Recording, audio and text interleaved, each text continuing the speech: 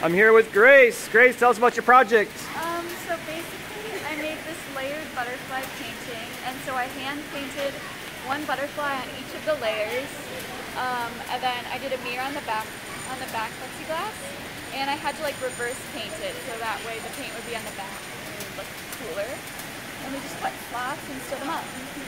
What machine did you use to cut out the plexiglass? Uh, the laser cutter, And then what program did you use to design that? Adobe Illustrator, And then what machine did you use to cut the wood? uh, the table saw. There we go. Thanks, Grace.